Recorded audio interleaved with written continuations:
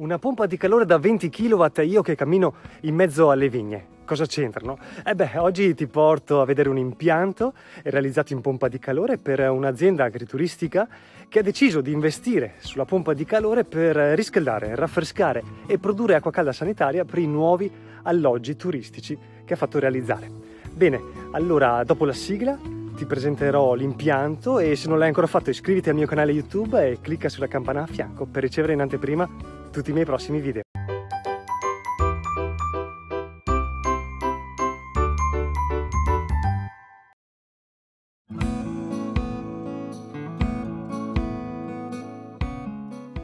Siamo nel Trevigiano e un'azienda agrituristica ha deciso di realizzare degli alloggi per i propri ospiti. Eh, producono anche del vino, del prosecco, come puoi vedere qui alle mie spalle, ma soprattutto hanno realizzato delle camere, una sala convegni e tante altre cose.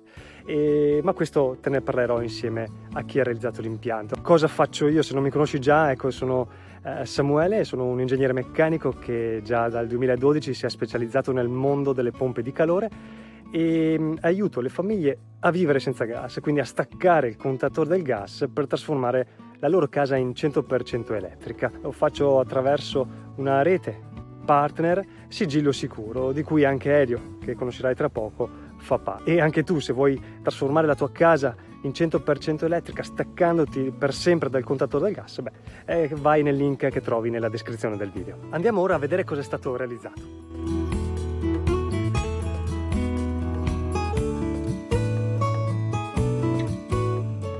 Hey, ciao!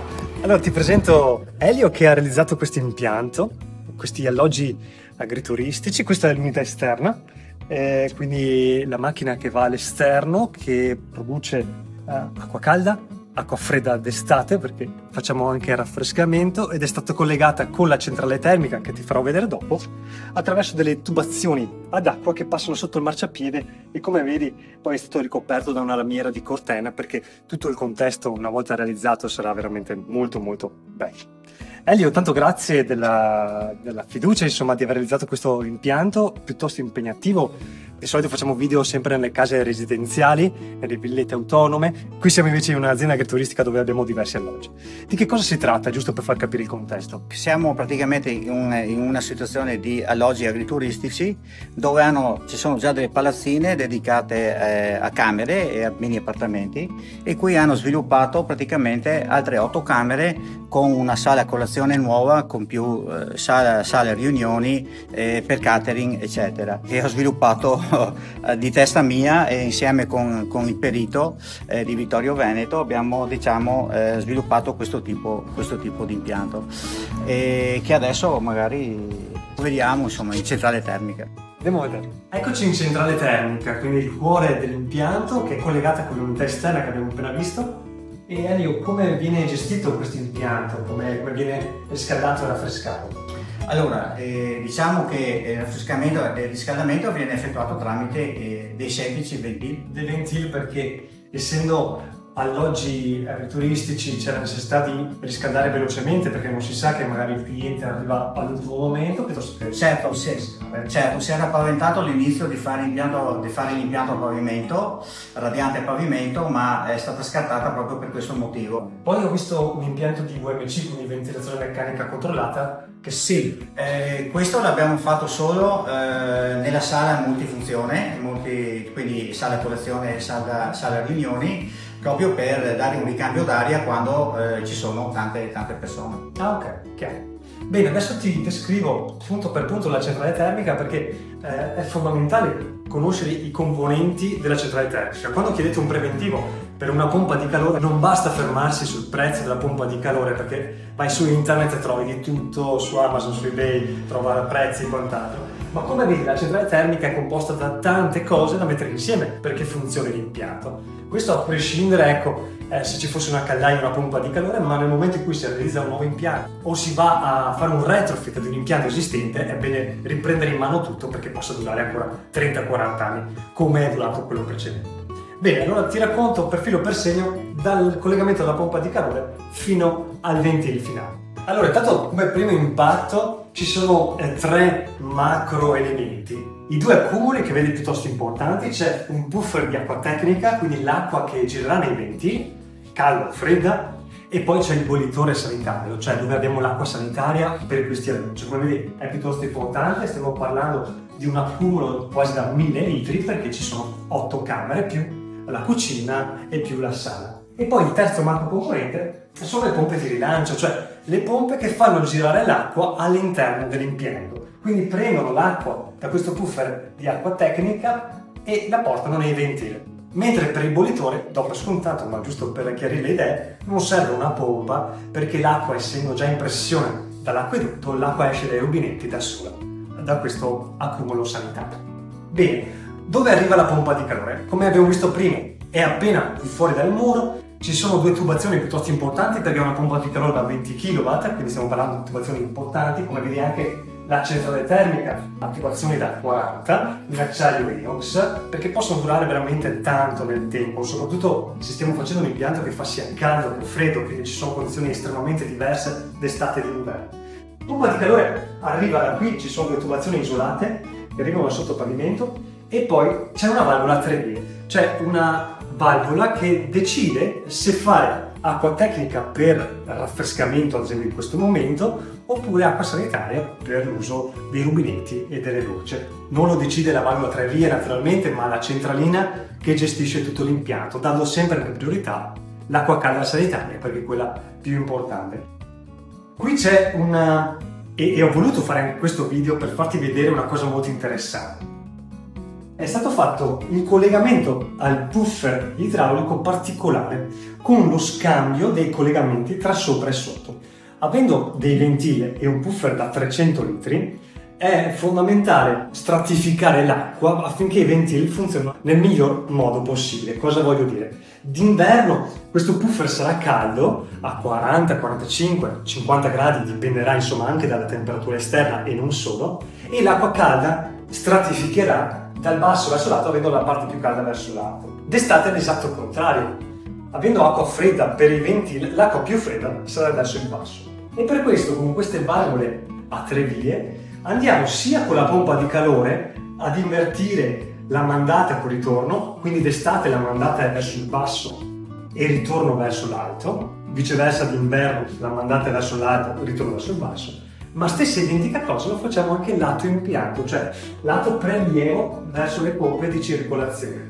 Perché andiamo a prelevare per mandare l'acqua verso i ventili, l'acqua più fredda possibile, cioè quella verso il basso. E anche qui sono state messe delle valvole tre vie che permettono questo, eh, questo switch tra estate ed inverno.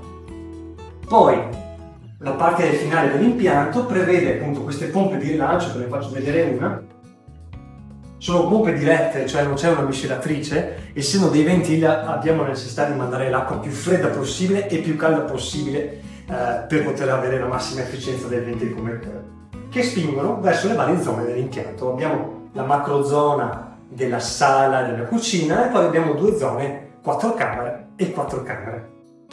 Andiamo poi a lavorare sulla parte dell'acqua sanitaria, quindi la trevia iniziale devia l'acqua verso il bollitore dove in questo caso abbiamo anche un solare termico, quindi d'estate abbiamo la possibilità anche di fare acqua calda sanitaria gratuitamente con il solare termico e la pompa di calore quasi sempre funziona solo in raffrescamento perché l'acqua calda sanitaria viene garantita dal solare termico. Avendo un accumulo da 1000 litri capisce bene che eh, di disponibilità ne abbiamo, anche perché avremo 50-60 gradi che poi miscelati con la doccia 39-40 gradi, insomma iniziano ad essere molto più di 1000 litri è disponibile.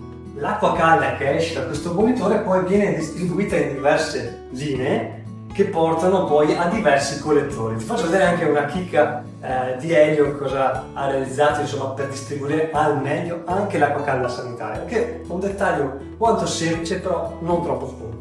Ecco, qui siamo nel corridoio principale e come arriva l'acqua dalla centrale termica? Arriva attraverso due tubazioni che poi distribuiscono nelle varie... Cosa c'è qui? Abbiamo un collettore per l'acqua calda sanitaria e anche per l'acqua fredda che viene distribuita proprio per ogni singolo elemento, c'è il bidet, c'è la doccia, c'è il lavandino, ecco, ogni camera c'è la sua, in modo da poter sezionare in caso di bisogno oppure necessità, insomma, il, l'elemento eh, singolo. I due collettori, perché ce ne sono due, sono collegati in parallelo anche per distribuire la pressione dell'impianto. Dall'altra parte invece cosa abbiamo? abbiamo collettore dell'impianto di eh, riscaldamento e di raffrescamento. Quindi un collettore che distribuisce attraverso i vari fan coil. Infatti queste sono le tubazioni che arrivano in ogni singolo fan coil. È un collettore in plastica eh, Dirai perché in plastica? Perché se facciamo raffrescamento è fondamentale non fare condensa in questi, questi sistemi. Come vedi siamo in fase di collaudo, quindi poi verrà coibentato tutto alla perfezione per evitare qualsiasi tipo di goccia dell'impianto e il collaudo di pressione è già stato realizzato, quindi l'impianto è idoneo. Adesso stiamo facendo l'acqua fredda per raffrescare, perché tra qualche giorno arriveranno i turisti a riempire questo alloggio. Poi cosa sono questi componenti colorati? Beh, sono dei vasi di espansione come vedi, ehm, che vengono utilizzati sia per il bollitore di acqua calda sanitaria sia per il buffer di acqua tecnica. C'è la necessità sempre di prevedere questi vasi di espansione in modo che quando l'acqua viene riscaldata, lei naturalmente tende a dilatarsi perché più si scalda più aumenta il suo volume e da qualche parte deve trovare lo sfogo. Cos'è questo vaso di espansione? È un accumulo, te lo faccio semplice semplice, dove a metà c'è una membrana, c'è una membrana di gomma che si gonfia come una camera d'aria della, della bicicletta. Cioè, quando la pressione dell'acqua aumenta, questa membrana si dilata in modo da non far aumentare la pressione dell'impianto. Altrimenti le valvole di sicurezza inizierebbero a perdere acqua, oppure anche le varie giunture tra una tubazione e l'altra iniziano ad andare sotto sforzo perché la pressione aumenta. Valve d'espansione serve, serve proprio per compensare questo. Ma perché così tanti e così grandi? Perché sono dimensionati in base all'accumulo di acqua sanitaria in questo caso e di acqua tecnica dell'altro caso. Ecco, quindi in base a quanta acqua c'è nell'impianto è fondamentale dimensionare il vaso di espansione. Poi avremo un altro circolatore qui sotto che è la pompa di ricircolo. Siamo in un alloggio agrituristico, quindi è importante che appena il cliente apre il rubinetto esca l'acqua calda e non stia lì ad aspettare troppo. Cosa possiamo fare? Allora si mette una pompa di ricircolo che fa girare l'acqua attraverso un terzo anello e, e sia pronta sempre lì nel rubinetto, ma questo, questa pompa di ricircolo costa, costa a livello energetico perché consiglia di avere un anello sempre caldo che soprattutto d'inverno con i muri freddi insomma disperde come avere un radiatore. Allora Elio cosa ha fatto? Ha messo un termostato che permette di far funzionare la pompa di ricircolo a una temperatura più bassa rispetto a quella accumulata qui. Cosa intendo? Se qui abbiamo 60 gradi, la pompa di ricircolo fa girare l'acqua nell'impianto magari a 38-40 gradi, così che il cliente possa avere il beneficio appena apre il rubinetto, ma non andiamo a sprecare 60 gradi che sarebbero inutili uh, in un rubinetto ecco, di una camera. Ultimo, anche se sarebbe il primo, è l'arrivo dell'impianto, perché come facciamo riempire di acqua questi accumuli e, e l'impianto? Eh, tutto arriva dall'acquedotto, attraverso queste tubazioni, abbiamo dei filtri, abbiamo il regolatore di pressione, abbiamo il dosatore con i fosfati, abbiamo un addolcitore per tenere l'acqua appunto a, una, a un livello di durezza idoneo perché non si rovini tutto l'impianto, abbiamo anche la valvola di bypass perché se dovesse eh, rompersi da dolcitore oppure per qualche motivo dobbiamo metterci in mano, possiamo far lavorare l'acqua dell'acquedotto direttamente all'impianto bypassando la dolcitore. E tutto questo permette di da una parte caricare l'impianto dei venti come tubi, dall'altra naturalmente caricare il bollitore per l'acqua calda sanitaria che poi troviamo nel dolce e anche nei latte. Bene, Elio, eh, grazie insomma di aver realizzato questo impianto. Grazie a te. È veramente un'occasione importante, insomma l'impianto è stato fatto veramente bene e è innovativo, nel senso che finalmente si fanno impianti anche senza caldaie. No? Eh sì. Elio, come vedi, non ha 20 anni, eppure ci crede fermamente in queste soluzioni. Certo, certo. E con questo ti salutiamo e ti diamo appuntamento al prossimo video. Ciao! Grazie.